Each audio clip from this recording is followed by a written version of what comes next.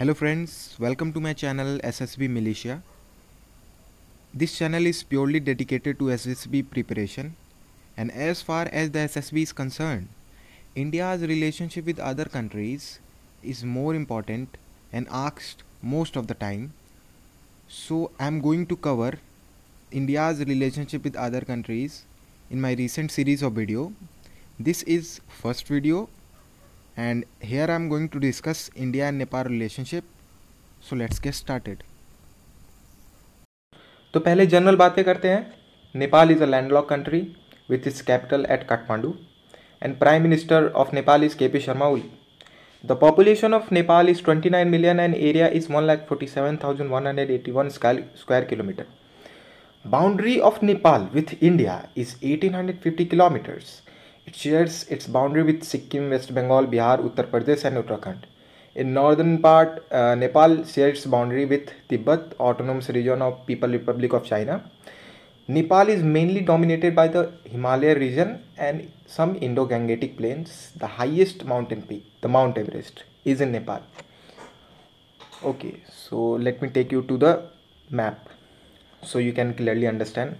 Here in the map, you can clearly see this is the map of Nepal and uh, the from the three side it is surrounded by the Indian state uh, Uttarakhand, Uttar Pradesh, Bihar here West Bengal and Sikkim and in the northern part there is Tibet which is autonomous uh, territory of People Republic of China so friends हम जब भी बात करते हैं India Nepal relationship के बारे में सो so, हम इस ट्रीटी की बात हमेशा करते हैं। India Nepal treaty of peace and friendship of 1950 this peace treaty enables Nepalese and Indian citizen to move freely across the border without passport और visa live and work in other country and own property और conduct trade और business in other country so basically ऐसा होता है कि आप अगर एक इंडिया के सिटीज़न हैं so you can go to Nepal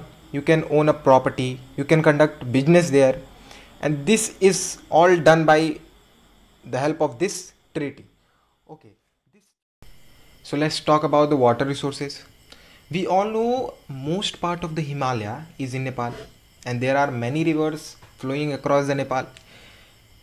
That's why water resources is considered as the backbone of nepalese economy Nepal is the second country in the world after Brazil with highest potential of hydro electricity generation and if this potential is properly trapped the power crisis in entire SAARC region can be shorted out to greater extent तो नेपाल में बहुत सारी नदियाँ बहती हैं। अगर हम वहाँ पर प्रॉपर इंफ्रास्ट्रक्चर बनाएँ प्रॉपर डैम बनाएँ तो हम उस सारी एनर्जी को टैप कर सकते हैं।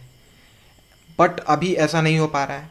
लेकिन बहुत सारी कंट्री नेपाल को ऑफ़र कर रही है to build dams in their region to maintain the proper infrastructure और इस रेस में दो कंट्रीज़ मेनली हैं India and China and we will later discuss about this topic also so in the visit of August 2014 thousand fourteen our prime minister mention about five thousand six hundred megawatt Pancheshwar multipurpose project to build on Mahakali river at the India Nepal border which is about to add 5 times more electricity than Nepal produce today.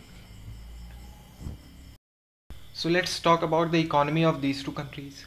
India's total bilateral trade with Nepal in financial year 2017 to 18 stands 6.82 billion dollars. But it is highly skewed in India's favor as India exports goods worth 6.38 billion dollar and import goods worth 437 million dollar.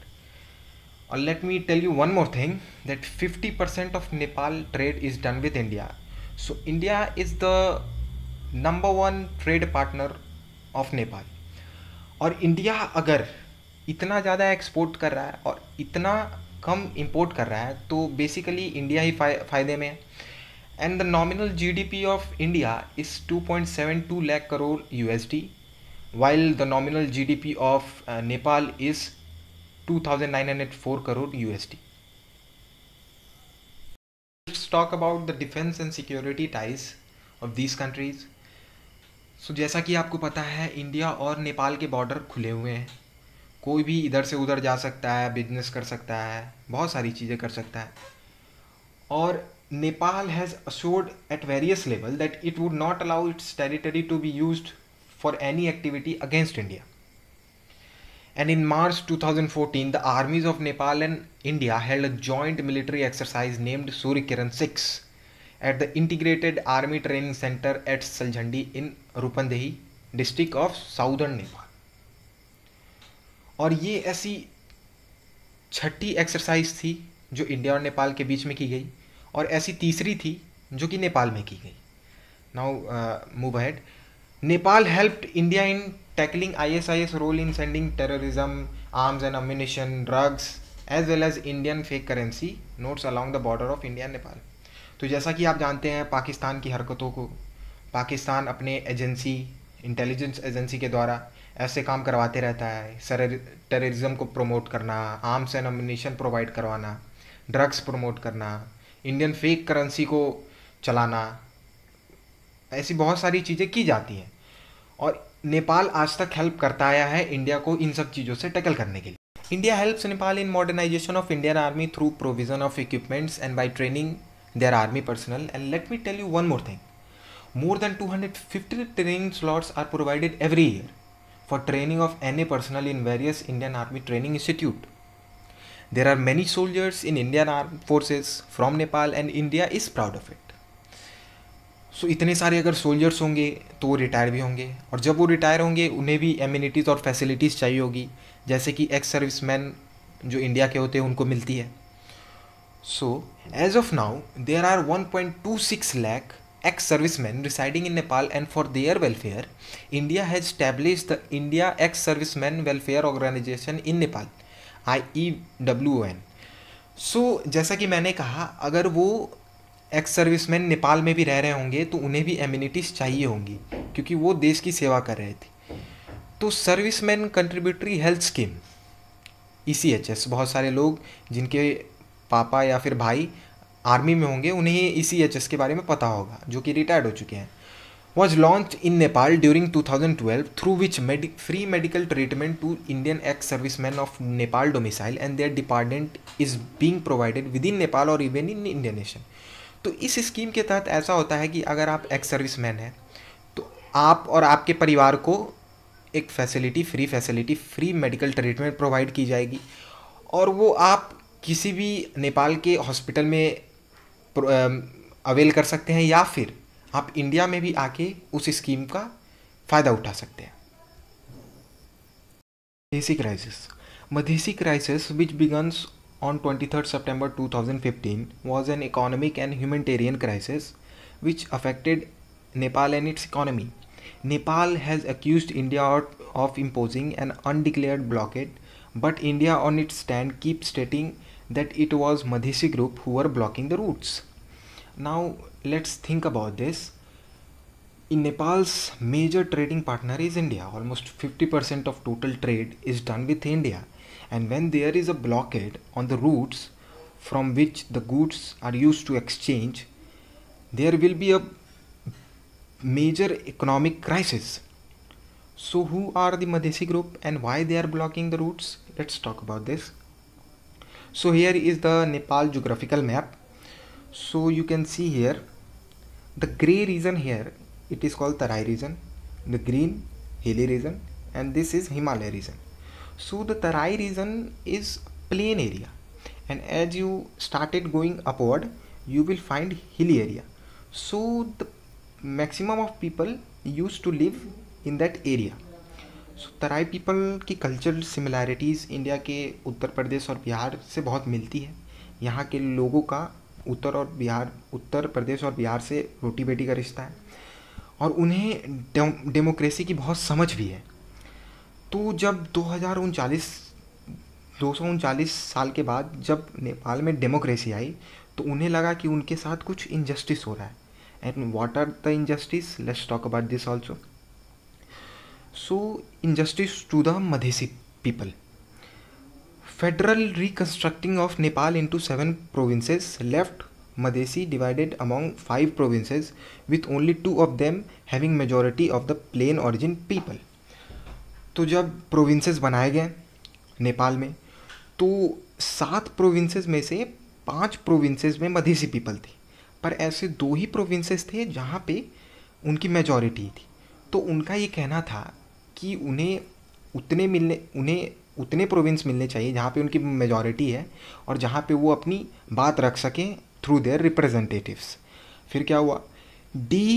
Delimitation of electoral constituencies in Terai more than fifty percent of Nepalese people live which has not been done on the basis of population in plain तो जैसा कि आप समझते हैं कि population wise Terai are more in population so they want कि population के आधार पे प्रोविंस को डिवाइड किया जाए। जहाँ पे ज़्यादा प्रोविंस जहाँ पॉपुलेशन ज़्यादा, वहाँ पे ज़्यादा प्रोविंसेस मिले जाए। पर ऐसा नहीं हुआ तो इनसे वे गुस्सा थे। Other complaint related to the citizenship norms that disallowed children of Nepali mother married to foreign from inheriting Nepali citizenship. तो जैसा कि मैंने आपको कहा कि यहाँ तेराई रीजन में जो लोग रहते हैं, उनका रोटी बेटी का रिश्ता है इंडिया से। तो वो शादी भी कर लेते हैं नेपाल की लड़की हिंदुस्तान के यूपी और बिहार के लड़के से शादी कर लेती है। तो उस केस में जो सिटीजनशिप होगी, उनके बच्चों की वो रद्द कर दी जाएगी। और जिससे वे नाराज़ थे। तो इसी कारण ये जो ब्रैकेट बैरिकेड था, वो लगाया गया था और जिससे दोनों देशों को बहुत ही प्रॉब्लम हुई Chinese contribution in Nepal against India. China is playing challenging load to compete India in their neighbouring countries like Nepal, Bangladesh and many more. China is emphasizing on making proper infrastructure like dam, road and railway connectivity. So we all know कि नेपाल ऐसी दूसरी country है, जिसके पास इतना hydro electric generation की potential है। So if there is proper infrastructure proper dam so there will be much more easier for the SAARC countries to get their electricity from there तो इसी के लिए Nepal needs an investor to invest in their projects dam projects road projects railway projects and China is coming ahead to provide them the money they need to make that infrastructure. Chinese President Xi Jinping has wrapped up a landmark visit to Nepal, the first by Chinese president in 23 years. 20 deals signed and nearly 500 million dollar in financial aid pledged amid growing influence in improvised Himalayan nation.